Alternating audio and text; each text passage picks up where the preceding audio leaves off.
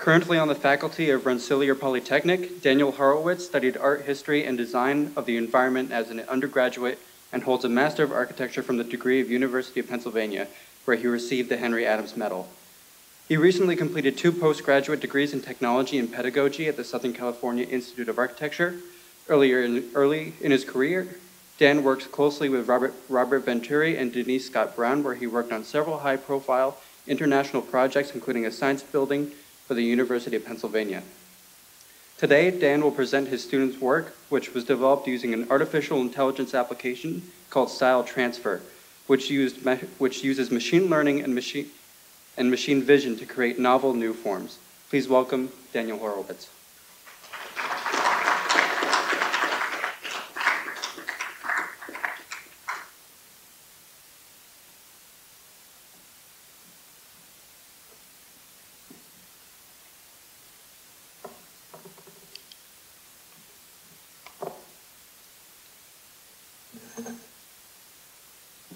Hi, everybody. Thank you for the nice introduction, and thanks to Wendy Cox for inviting me to speak here this afternoon.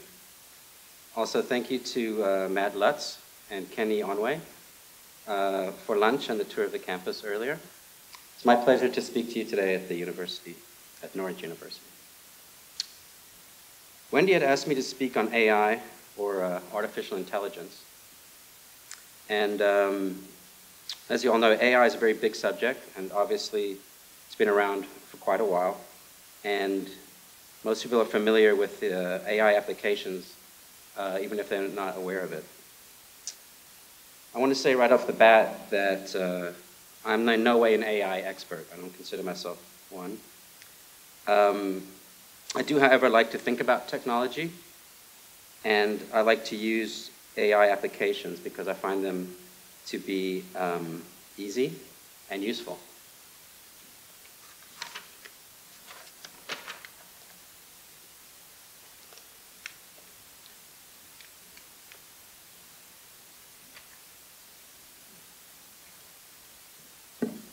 I like to operate in the technological space that Heidegger defined famously in his seminal work called The Question Concerning Technology, where he says the problem concerning technology is essentially not about technology.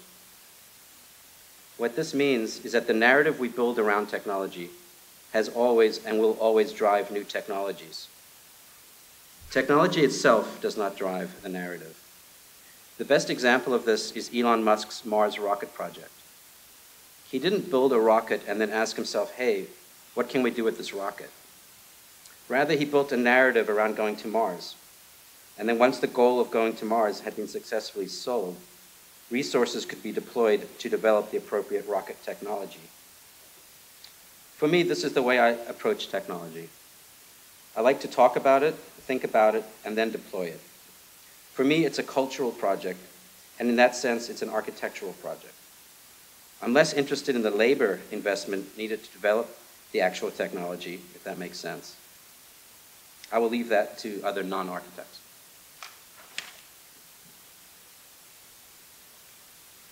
The application I've been thinking about and working with over the last two or three years is called Style Transfer, and it's based on a technology known as a convolutional neural network.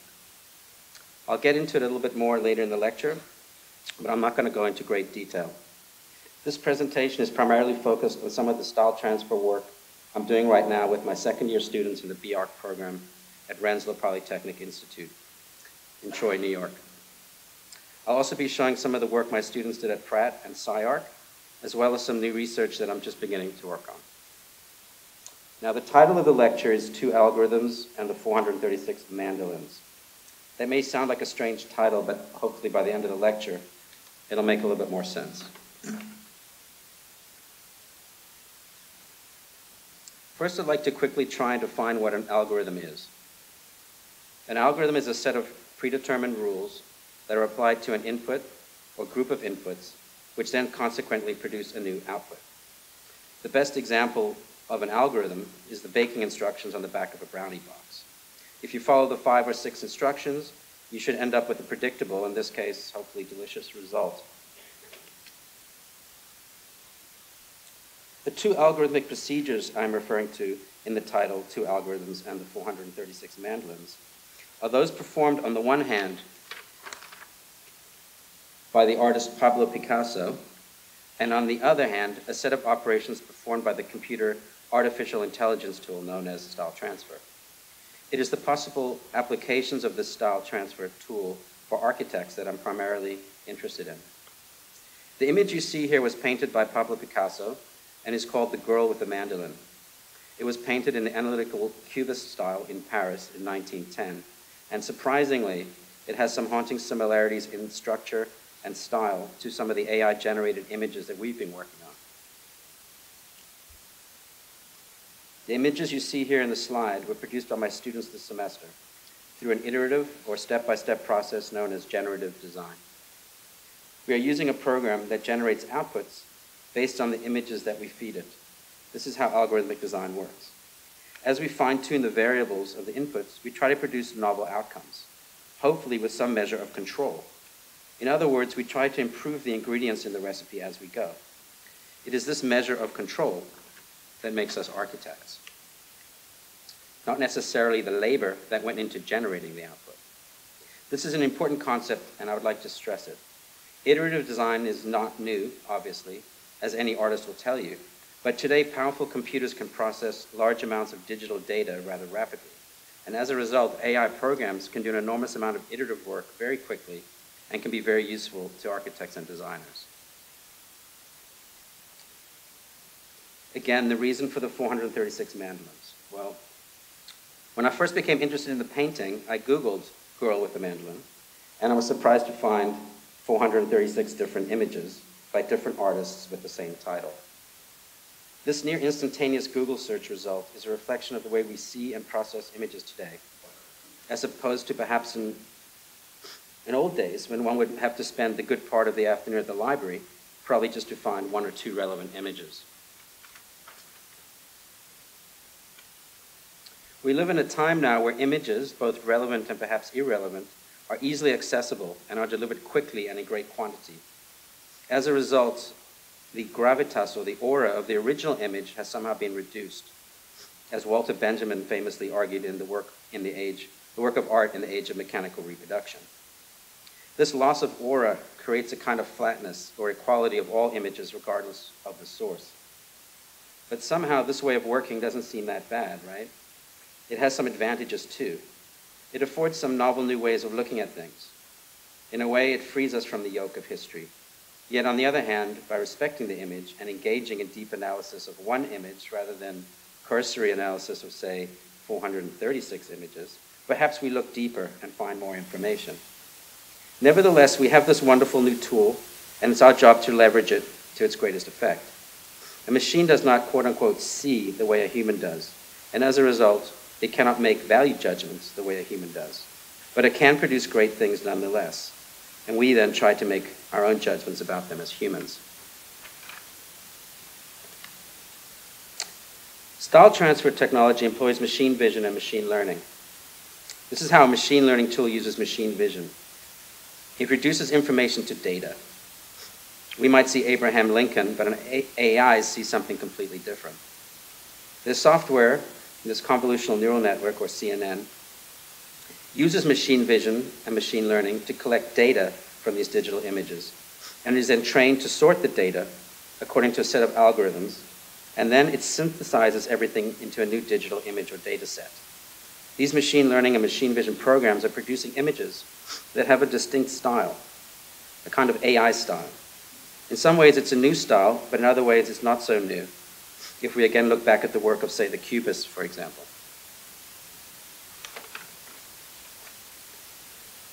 These are two freely available websites where you can experiment and create masterpieces of your own using style transfer AI technology.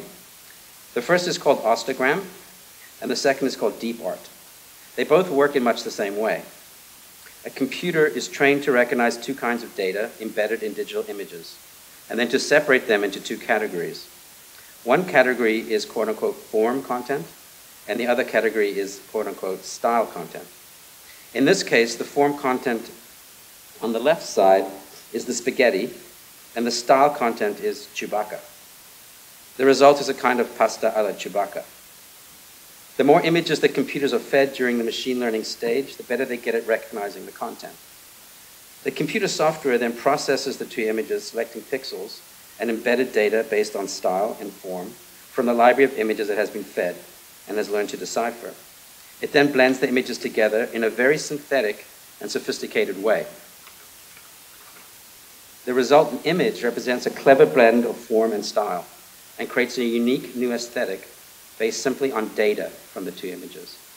Now, again, I want to be very clear that by my using style transfer technology, I'm in no way an expert in AI. No more, say, than I would be an expert in wireless communication technology simply because I was using a smartphone.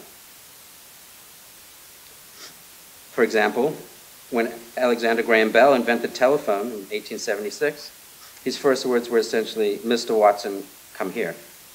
Obviously, being a great technologist doesn't necessarily make you a great conversationalist.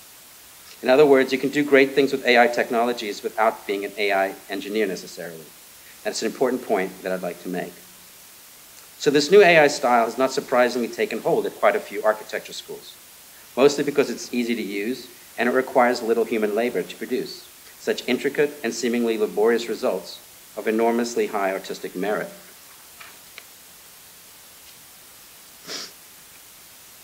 Here are three Instagram feeds from three well-known architecture schools. As you can tell, these images are quite seductive, and that's the point. We live in a time of limited attention spans and a huge appetite for new images. One might lament that the desire for fresh images has replaced the desire to truly understand or learn new things. Image alone does not equate with mastery or knowledge or expertise. So for me, the images we create are no more than idea machines to spark our imaginations to create real things in the real world of true architectural merit. It's important to remember that these images represent data only. They do not represent anything other than what we read into them. It simply is a tool for generating aesthetic data content. We as architects and designers act as curators, or to use the recipe analogy again, as cooks or chefs. We select the input images and control the variables until we find one that is aesthetically satisfying to us, perhaps surprises us or tastes good to us, and hopefully sparks an excitement in our imagination. The tool is a kind of collaborator. Yet these digital images are still extraordinary originals and seem to have an authorship wholly not our own. But they are also like Rorschach prints in that anyone looking at them may see completely different things. And this is the beauty of it. The Rorschach test, or the ink blot test, is a psychodiagnostics tool. It's used to assess emotional problems in patients by identifying the objects that the patient projects into or onto the image. This is precisely the kind of projective operation that is happening when we look at and try to interpret these style transfer images.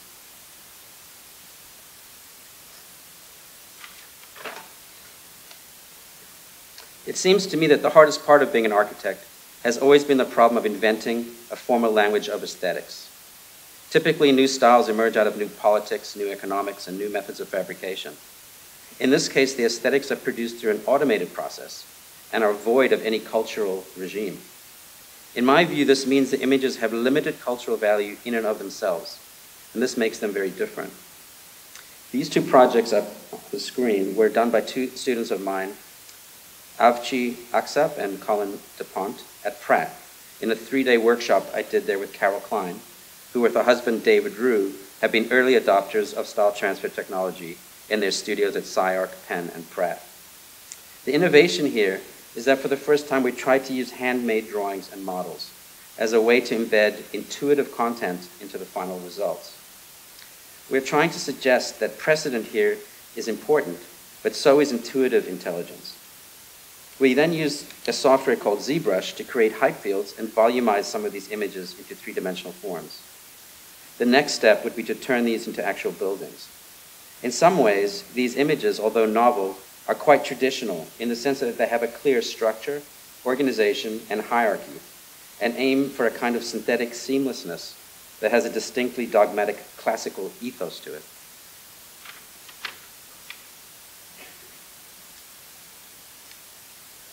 Four principles or the four principal issues that this technology makes us confront are one, the role of labor in design, two, the role of the image in culture and the loss of aura of the original versus the copy, three, the question of precedent in architecture, and four, the question of authorship and influence in our work. Are we okay with the idea that we are collaborative authors and that the idea of the genius architect no longer or never did really exist? If we don't labor over our work, do we feel we are not the true authors of our work? If we see enough images of a place, do we feel we don't have to visit that place? Do we already know it? And in what way do we know it? Has the aura of that place been lost somehow by the repetition of images and copies of the place? In my current studio, we're designing a museum. In order to develop a formal and aesthetic language and to imbue or embed the projects with a human intelligence, we decided to study the work of Baroque architect and sculptor Gian Lorenzo Bernini. We did analytical studies of the pieces and then combined them with photos of the pieces to generate our style transfers. Early on, we realized that a very important structural part of these pieces are the folded pleated drapery elements. All the final images were embedded with the DNA of these folds, of these drapes. Here, one of my students, Josie Moran, began with Bernini's masterpiece, Apollo and Daphne from 1622. The piece is really interesting to us because it is an incredibly rich cultural artifact that embodies the highest levels of human intelligence. It is a very delicate piece set at the moment that Daphne is pierced by Apollo's arrow in the Greek story from mythology. The student was most interested in the relationship here between the bodies and nature, the way the hands become leaves and the way the ground swells into legs of the characters. Her interpretation of the piece captures the moment and movement and relationship of the parts and create fertile ground for her style transfer iterations. Here, another one of my students, Abby George, was inspired by the same piece. And she developed these style transfer results. While these images are very suggestive, they are once again simply digital images. I then ask my students to imagine the spaces within them. Does the piece represent the site? Where might your building be? Where is the entry to the piece? What are the clues to the structure of the piece, to the skin of the piece? In this case, I see a skeleton structure just below the surface, with a thin, almost vacuum sealed skin that folds itself into layers. What kind of architecture might this become? This is the question. And this is what we are currently working on. In this case, another student, Catherine Betts, did several iterations based on Bernini's Ecstasy of St. Teresa. Here you can see her quote unquote form content, content piece very clearly in the bottom left corner, and the style content piece very clearly as well. In order to focus on the form, she has used a filter in Photoshop that highlights the edges and planes and reduces the painterly effect of the image. This is a clever device, I think, and as a result, you can see her final piece is quite interesting. There's a unique spatial organization of two principally different parts. She was particularly interested in the golden rays of light portrayed in the piece and was able to curate that element into her final image. And I'm looking forward to seeing the next steps as she tries to interpret and volumize the parts. One technique we employ is to carefully trace the line work of the image in Rhino and then extrude the volumes. Another way is to import the image into ZBrush and give different values to different colors and then create a height field accordingly. It's a challenging process and then at the end of the day cannot be solved by procedures and algorithms alone. It requires a lot of imagination on the part of the student. And at the end of the day, it is this imagination that we nurture. This ability to imagine is still the hardest part for students to grasp for some reason. It reminds us that as powerful as AI is, it is still nothing but a tool at the end of the day. Students still struggle to be authors, I find. Often they become used to prescriptive studios where they are given a set of procedures to generate a predetermined result. This is not the intention of this work.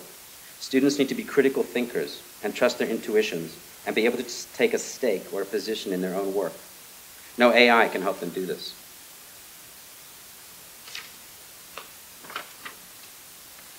Here's an interesting piece by another student, Brianda Valeria.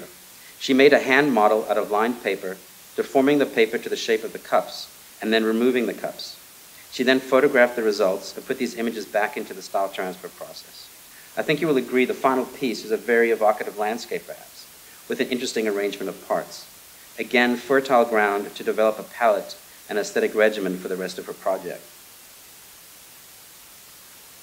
Here's another striking set of iterations by Andy Martin. He was very interested in color, and as you can see, he used a photo of Bernini's David in its gallery setting and curated the colors successfully into the final piece. Here there's a fascinating kind of basket weaving language developing, which may suggest a kind of structural system for his project.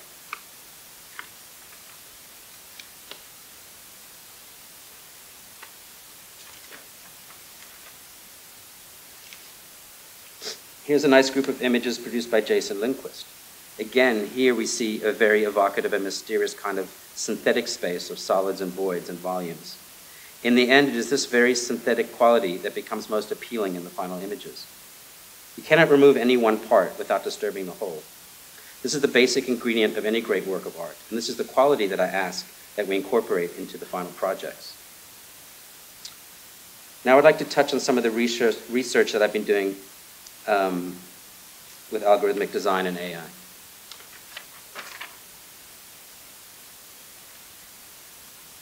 Here on the left, we have Picasso's analytical cubist piece titled Still Life with Bottle of Rum. On the right, we have some of the possible elements or inputs or data that, has, that is in this painting and that this painting is based on. Form and style elements possible. At the top right, we have a French antique journal, and below we have typical cane chairs and tables of a European cafe. Clearly, these elements have been synthesized using some kind of algorithm to create another kind of alternative representation. Captured in the final image is the essence of these objects or forms within their contexts or styles, perhaps. The resemblance between the mode in which Picasso was operating and the mode in which we are op operating is quite evident. Picasso would have simply replaced form with figure and style with context. In this case, Picasso was attempting to deconstruct reality and then reconstruct our experience and understanding of it. Analytical cubism represented a dramatic shift, in art representation, as it proposed a new way of presenting the way we see, experience, and feel in the world. Cubism's principal revelation was that a simple one perspective view of a thing is a very limited way of knowing that thing. The thing has a context, and it changes over time. And we also know the thing as we move around it and as the objects in the setting interact with each other. Style transfer could be just another way of knowing a thing, another way of representing our understanding of an object and its context. Figure and ground become form and style. In the end, style transfer is really a figure ground ambiguity problem. And in this way, it is a kind of cultural production, very similar to the kind that Braque, Picasso, Leger, and others were exploring. This new representation is a statement about the ontology of things and the notion that there still remain other ways of being and feeling in the world. For Picasso, the world itself represented sensory data. His still lives provided a collection of input data, and his paintings were the synthetic output images.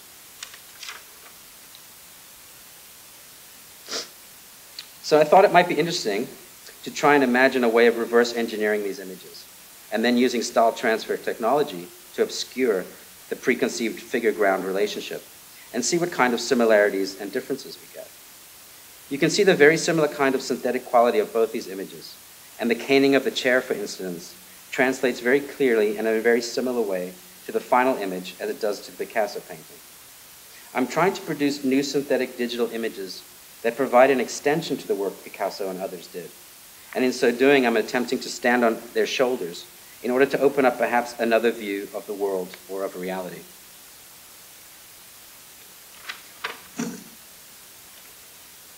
The painting you're looking at on the left, Still Life with a Bottle of Rum, was painted by Picasso in 1911 in a small town in the foothills of the French Pyrenees called Céret. The painting depicts a round tabletop, a small stemmed glass, a bottle of rum, a pipe, and a newspaper. I am hoping for my research to take me to Céret this summer to do some detective work. Using the clues in his paintings, I will try to locate the original pieces or data he drew from. My goal is to create a library of digital data. I want to draw from this data by developing workflows and digital images using style transfer technology. I hope to produce new synthetic digital images that provide an extension to the algorithmic work Picasso and others have already done. And I hope to expand our understanding of the work of Picasso and the analytic cubists while providing a roadmap forward for architects as they attempt to leverage new artificial intelligence tools.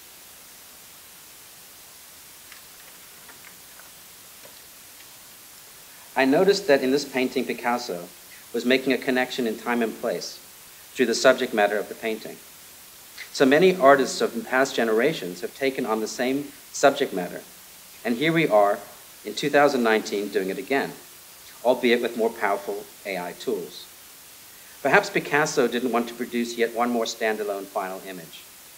He didn't want to produce simply his single view at one single moment in time. Rather, I imagine he wanted to create a painting that included all previous paintings as well. I found this to be a kind of revelation that this painting is a kind of arc in time, not only connected to all previous paintings of girls with mandolins, but in fact to all future paintings of girls with mandolins. Picasso himself painted quite a few paintings with similar titles as well, which is an interesting notion. He documented himself at various stages of his own life and career in terms of how he might paint the girl with a mandolin. Here we have on the right his girl with a guitar, which clearly represents a maturity of his work, and perhaps even of his subject, and one could say even his viewer, perhaps, as his work becomes more and more complex over time. The politics of the single view and the single viewer mapping out a single reality from which all other viewers become, quote unquote, the other, is certainly being questioned today. And perhaps this view that reality is always changing and there is no single view that trumps all other views can be quite liberating. In this way, perhaps AI can help us uncover even more human and perhaps non human ways to see, experience, and understand the world. After all, I think we are still most impressed by, and perhaps even more, more comfortable with, human intelligence. So I leave you with this final image, which I suggest presents the highest level of human achievement and imagination, or what can be called HI, or human intelligence, without which AI, or artificial intelligence, means nothing. Means nothing. This image is, of course, the martyrdom of Saint Sebastian by Bernini from 1615. Thank you.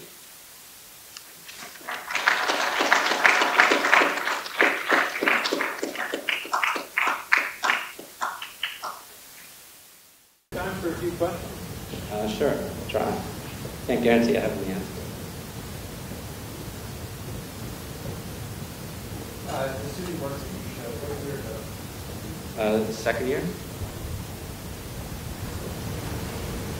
So we introduced technology really early on in the program. So that we'll be learning um, digital technologies from first semester.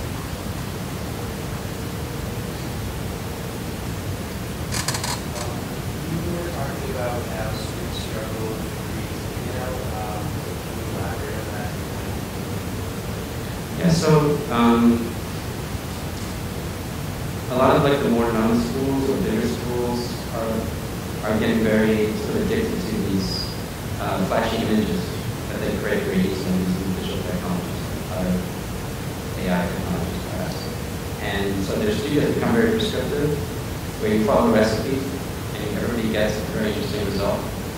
But if you stop and say, well, hey, we're not, you know, that's not the point here. I want you to tell me what you see in your project as being important to you. What do you see in these images? Can you then create something on your own out of that image? I can look at that image, we can all look at those images and see all kinds of different things. But I find that for some reason, uh, when students are left to do that on their own, they seem to struggle with this kind of, maybe the burden of their own authorship. That, that even though these images are very rich, they're just there. Like, they're created by a machine that doesn't see things Right? So whatever we see, it's highly personal. And you might see one thing in an image, I might see something. So the challenge is, no, it doesn't make it any easier for us. In fact, it makes it just as difficult. Right? We still have to use our imagination.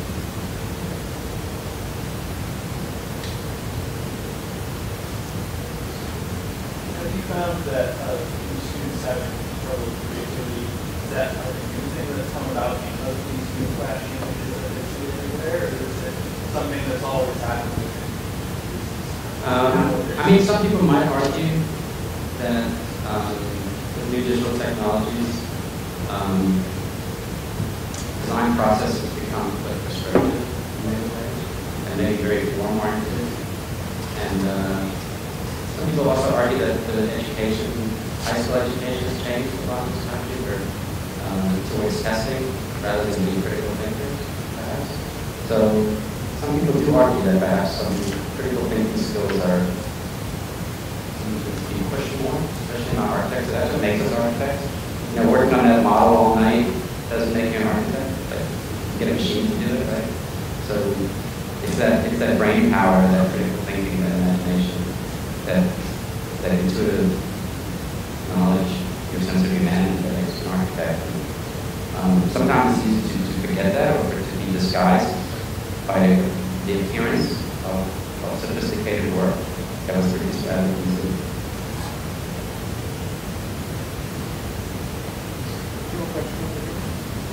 Um, so I know you mentioned a, a couple of programs uh, in lunch when I wrote down uh, ZBrush and Photoshop, but what programs do you use to mix the images? Yeah, so those were the two that I was showing with the Chewbacca image. Mhm. So one is called um, Ostagram, and one is called DeepArt. Really easy to use. You guys can go on there yourself and start playing around with it. But there's still, there's still, still have to curate the images and figure out how to uh, manipulate and have a measure of control, right? Because it's no good just having accidental results. And end, what makes us architects and designers our ability to have a measure of control which is something that still.